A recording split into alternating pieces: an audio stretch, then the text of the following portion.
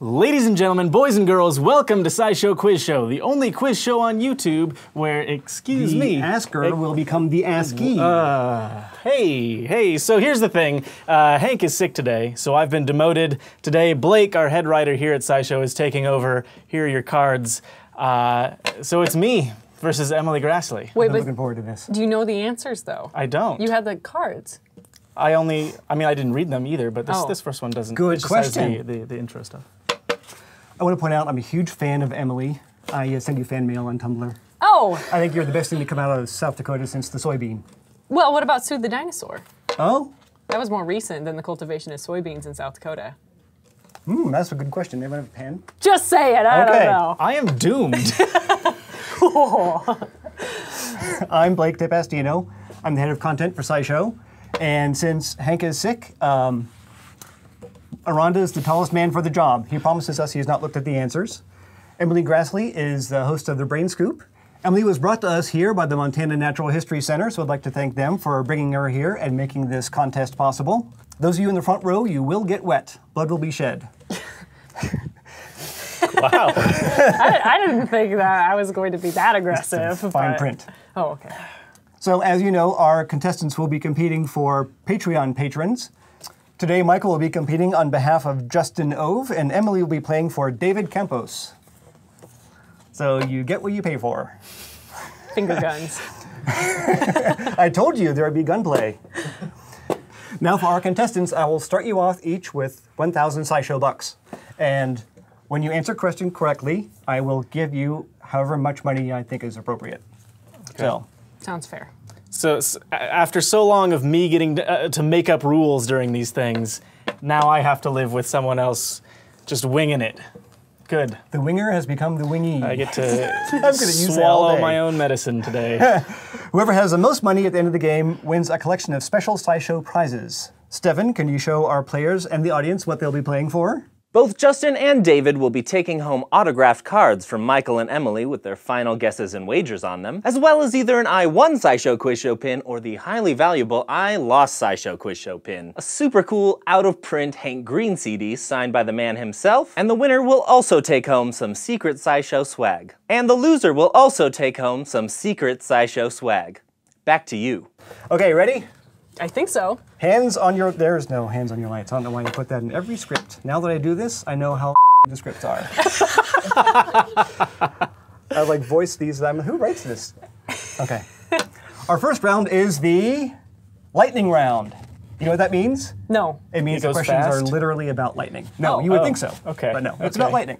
Are they multiple choice? I think I made this error last time I was on the show where I rang in and tried to give an answer, and the answers were multiple choice. Oh, that was uh, no. Okay. Um, that was a bad idea of mine. oh, so. These are. This is a slightly less bad idea called true or false. Oh, okay. okay. Okay, the first question. There is a type of mineral formation that only occurs in nature when lightning strikes sandy soil. True or false? Yes, Ms. Graslie. True. Yes. That is true. I feel like there was a, a movie starring Reese Witherspoon about this or something. Yeah, Sweet Home Alabama. That's the one. Yeah, I don't know. I'm embarrassed that I know that a little bit. I had no Um, idea. yeah, because the whole thing goes down to the beach and it's romantic, and then she collects the sculptures that the lightning or he does, and Yep. I don't know. Yep. anyway. I don't typically go to romantic comedies for my science knowledge. That's exclusively where I go for my scientific knowledge. Me too. I actually got that uh, question idea from the Reese Witherspoon fan page, which I host. It's known as fulgurite, and it forms when the intense heat from a lightning strike causes silica or other conductive minerals in sand or sandy soil to melt and refuse into a glassy tube or cluster, sometimes referred to as petrified lightning. Emily, you get 500 points. That's so many points. I know. Winning! Are we doing in dollars or should we do euros? It was SciShow bucks to start with. SciShow bucks, yeah. 500.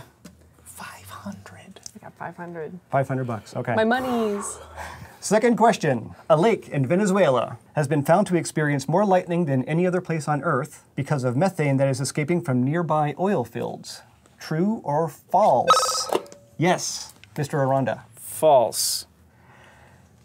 Uh, that is correct. It is false. There is a lake in Venezuela that's thought to experience more lightning than anywhere else, Lake Maracaibo, where lightning strikes about every two seconds during the peak of the rainy season. And methane was thought to be a possible cause, since the lake is both above and near large oil deposits, and the gas might increase the conductivity of the air. But this hypothesis has not been proven, neither has the hypothesis that the lightning had to do with large deposits of uranium in the ground. Instead, researchers think that Lake Maracaibo owes its electric skies to warm winds from the Caribbean colliding with cool winds coming down from the Andes, creating violent thunderstorms. I mean, methane is just like farts, right? that doesn't draw lightning. It could be a fart field. Which, you know, I don't know. Livestock- the livestock bogs exist. Yeah. South Dakota has lots of livestock. Yeah. I've swam in some of It's those. practically like a fart mine. It is. It's disgusting. Lando, Lando Calrissian could have like a fart mine up there. Lucrative. You, because I like your face, 150 points. So let, let me just hold on. Let me get this straight. She answered a question correctly and got 500 points. Who's holding the cards? I here? answered a question correctly I and I got asked you. 150 points. Uh huh. Okay. You'll see. Whatever. Fine. Final question. There is such a thing as positively charged lightning. True or false? Yes. True. That is true. The vast majority of lightning strikes are negative because they carry a net negative charge from the storm cloud to the ground. But around 5% of lightning strikes are positive and are generated near the top of the thunderstorm as opposed to the negative lightning which forms at the base of the storm. Storms usually have a positively charged region, but it rarely gets strong enough to create a lightning strike. When it does, the positive lightning strike can be as much as 10 times stronger than a negative one, which can cause a lot more damage. So, 350 points. Okay. Happy now? I guess. On to our next round, because who needs segues, right? This segment is dedicated to one of the founders of modern paleontology, a fascination of mine, Georges Cuvier. Okay. Ring a bell? Do you know all these answers already? No, You know anything know. about him? How No. about you? I do Georges know things Cuvier. about him. Yes. He's your lifting buddy at the gym. I, I know he's he's into elephants. Very good. Okay, we're going to hear about this later. Okay. Ah. The game is rigged. I'd, oh. I'd watch myself if I were you. Yeah, I'm now I'm nervous all of a sudden. A lot of what we know about ancient life, as well as how we still think and talk about it, is based on the work done by this French naturalist who lived in the late 1700s and early 1800s. His analysis of fossils revolutionized the study of biology and helped us usher in a whole new field, natural history. Perhaps Cuvier's most famous paper was published 220 years ago this April, in which he analyzed the skeletons of four different kinds of proboscideans, the order of animals that includes Elephants. Elephants. That's not the question. He just knows that. But one of these animals had never been seen in a fossil before. That specimen was known only as the Ohio animal until Cuvier came up with a name for it, and it's a name that we still use today. So, my question, and I do actually have one in there somewhere, is what was the Ohio animal that Cuvier studied and named? Was it A, the Gomphothere, which is sort of like an elephant with a shovel shaped jaw, B, the mammoth, C, the manatee, or D, the mastodon? Yes? The mastodon. The mastodon, yes. Very good. Mammoths were known from remains in Siberia as early as the 1600s, while the weird-looking Gomphotheres weren't identified until the 1830s. Manatees are closely related to proboscideans, but they are a member of a different order known as Sirenians. When Cuvier studied the animal excavated in Ohio, the cone-shaped cusps of its teeth reminded him of breasts, so he called the new animal mastodon, or breast tooth. Hmm, I don't know why I keep applauding myself. I was gonna go with shovel face. Shovel face. Yeah, it's a good guess. That's why I put it in there. well, Ohio's a hotbed for mammoths and mastodons fossils. So. I didn't know that. yes, yeah, they like dig one up in a farm every month or something. What No, that is. was hyperbolic, but frequently, more frequently than I find them in my backyard. Oh. Uh, you get 350 points. Boy, Okay, this is also a Cuvier elephant related question. One of the key findings of Cuvier's paper had to do with how modern Indian elephants compared to fossils of mammoths and mastodons found on other continents. Cuvier found that the structure of their teeth and jaws were much too different for them to have come from the same animal. So, this led him to a startling, all caps, I want to point that out, this is written in all caps, a startling conclusion. Was it A, that animals that looked the same could actually be different species? Was it B, that living things change form over time? Was it C, that animals once lived on different continents than they do today? Or was it D, that animals can go extinct? Can you read those again?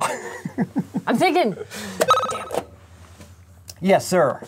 That uh, animals can go extinct. Yes, that is correct.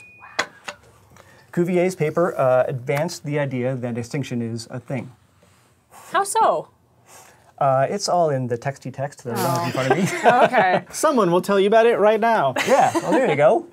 Before this, it was widely assumed that the Earth's population of living things was static. Thomas Jefferson, for example, said he expected Lewis and Clark to find mammoths wandering around the West. The idea that a type of animal could just disappear was basically unheard of. But Cuvier's work showed that there were many living things that no longer existed, and he suggested that they died out through periodic extinction events that he called revolutions. 250 points. Hmm. Now, Cuvier's work went far beyond elephants and the Ice Age. He also investigated much older reptilian life like the mosasaur and the pterodactyl, which is another name that he coined. Among his observations were the fact that these reptilian fossils came from much deeper layers in the earth than modern animals. So this led Cuvier to propose yet another theory that scandalized his peers. What was it? A, that dinosaurs were related to modern reptiles. B, that reptiles were once more plentiful than mammals. C, that all mammals shared a common ancestor. Or D, that dinosaurs could fly and swim. Yes, Aranda. B. Yes, correct. Cuvier had no idea how old those reptile fossils were, but he theorized that their prevalence in deeper layers of the Earth suggested that there was once an age of reptiles. This was a time, he said, when reptilian forms dominated the environment as much as mammals do today. In the decades after his death, the discovery of many dinosaur, ichthyosaur, and other reptilian fossils would prove him right. If it's a scandal, it's because humans are finding out that they weren't as plentiful as they thought they were. That's my, my thinking. Basically, yeah. Your thinking thoughts led you to the right thought Hu- thinker.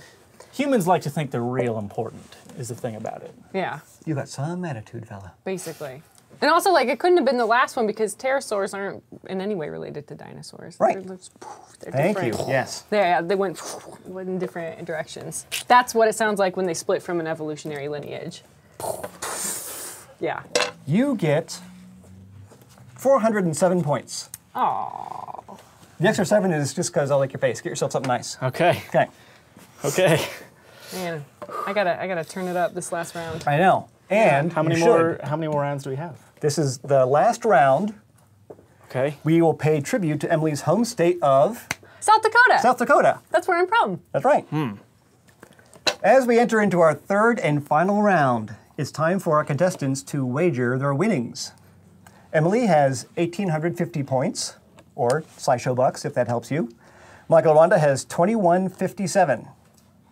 So, contestants, make your wagers while we break for this commercial announcement, or whatever we. F- I forgot the word. Contestants, are you ready? I guess so. Yes. Okay. Our topic is South Dakota, and we had a lot of factors to consider. There's a lot to write about in South Dakota. Very rich in natural history, beautiful geology, but we decided to focus on invasive species. oh boy. I mean, uh, no, invasive species are bad, but I, I know about the topic, so I'm excited. Okay. Hope you're ready. Me too. Here we go. South Dakota happens to be the birthplace of one of the most pernicious and now well known invasive plants in the United States, thanks to the help of some unwitting 1800s farmers. What famous invasive plant got its start in South Dakota? Was it A. chamomile, B. kudzu, C. tumbleweed, or D. wild parsnip? Okay, so there's one of those that I know didn't originate in the United States, and I know nothing about the others. So I don't know if this. Oh, God. Just write it down in a letter. We'll see how this goes. Maybe I don't know my natural history as well as I thought. Oh, that'd be embarrassing. I'm sorry, South Dakota. Hmm. Oh my gosh. Letting gosh. you down. Now I feel bad mm. for the whole state. I know. My dad's a farmer. Don't. Well, imagine how much fun will be at Thanksgiving when you wow them with this question Wow. at okay. the table. All right. My heart's beating fast. It should have run. Okay. Botany does that to him. Hmm. Michael, you're ahead, so show us your answer. C. Tumble Bumble. I think that is not the, the cromulent name for that, but Okay. what's your answer? D. Parsnips. The correct answer is C. Tumbleweed. Bollocks! I think tumbleweeds are like Russian or something. The iconic tumbleweed is actually known as a Russian thistle, and it was first reported in the US around 1877 in Bon Homme County, South Dakota. Apparently, Ukrainian farmers who had moved there planted their crops of flax with seeds that had been contaminated with thistle from the old country. Within 20 years, the plant had spread all the way to California. Chamomile, kudzu, and parsnip are all invasive species in North America as well. Uh, I need to give a big shout out to uh, Mrs. Statura in uh, fifth or sixth grade for telling me about tumbleweeds because, um, yeah. I put him over the top. Congratulations, Justin Ove. Uh, you're a winner. David Campos, from the bottom of my heart, I know that I'm ashamed of my performance, and I'm so sorry you didn't get the swag that you needed. That was like way too really sentimental. But, but, but the great thing about about SciShow Quiz Show is that even the loser gets a little bit of swag. Oh boy! Thanks for sitting through this SciShow quiz show, even though you had to look at this instead of this the whole time asking the questions. And um, I think you did a fantastic job. oh, thank you. You should see my pit stains. I was really nervous. Make sure to check out Emily on their Brain Scoop and at VidCon. Thank you to the Montana Natural History Center for bringing in Emily Graslie to make this competition possible. And thanks to all of our patrons on Patreon who make all of SciShow possible. If you want to see more of this, go to youtube.com slash SciShow and subscribe. Finger gun. Yeah. We also have pygmy goat enthusiast Phil Plait. Is that a thing? It is now, apparently. Right. Well, you better study up. Yeah. Because it's all going to be pygmy goat questions.